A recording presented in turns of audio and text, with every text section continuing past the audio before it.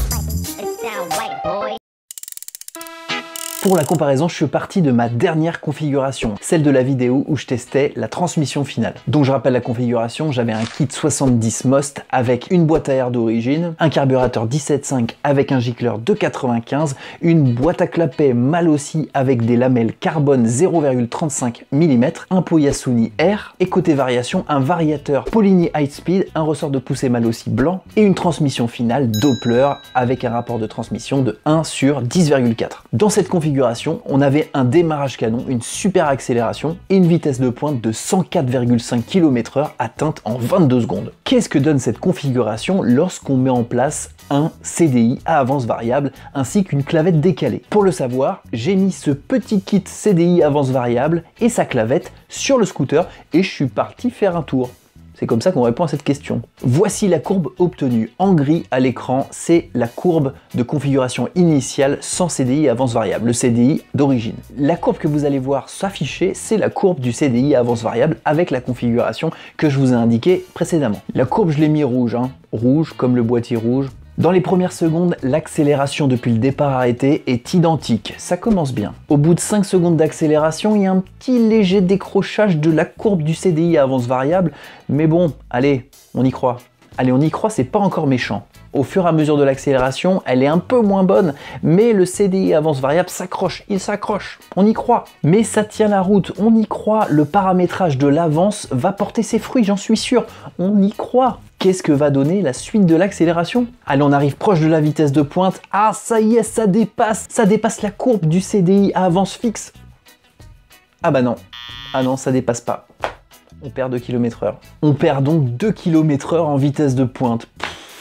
ça valait bien le coup de changer sa clavette et de mettre un nouveau CDI. C'est 50 euros pour perdre 2 km heure.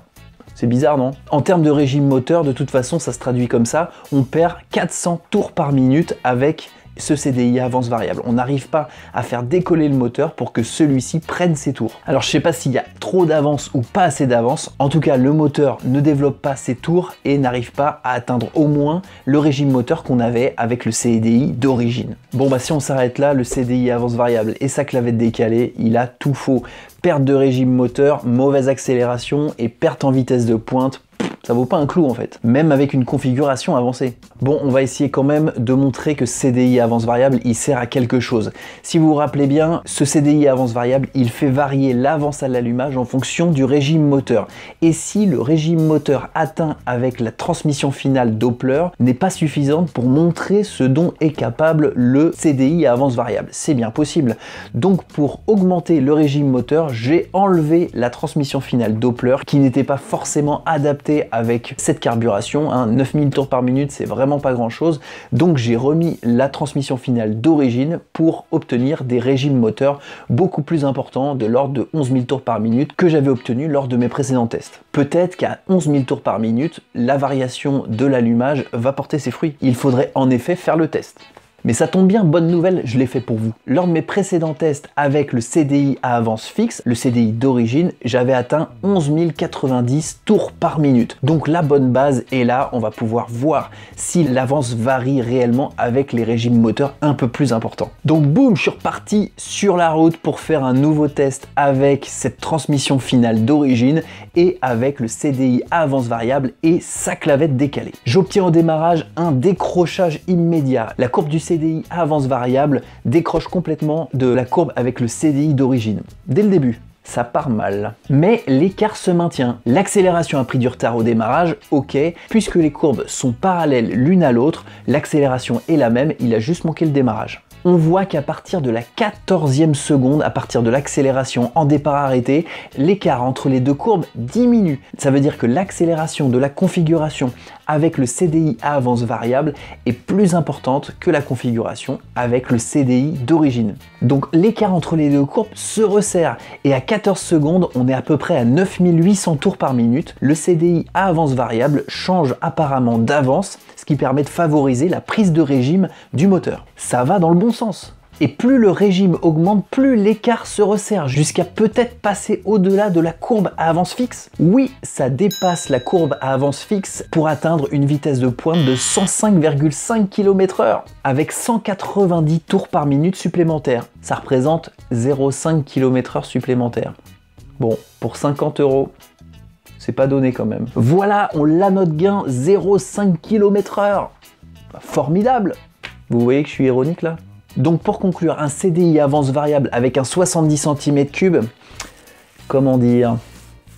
Sans froisser personne, bah ça marche pas. 50 euros pour avoir 0,5 km/h supplémentaire en pointe et une mauvaise accélération, en tout cas une moins bonne accélération qu'avec le CDI d'origine, bah moi j'en conclus que ça fonctionne pas. Donc mon vieux CDI va vite reprendre sa place dans le scooter je pense. Il faudrait voir si le régime moteur augmente encore, si le CDI avance variable prend tout son sens. Je ferai peut-être de nouveaux essais, je vous tiendrai au courant. Un petit mot avant de finir, vous allez me dire pourquoi tu n'as pas testé seulement la clavette décalée qui coûte 6 euros sur internet. Et ben en fait, je vous dis pas tout.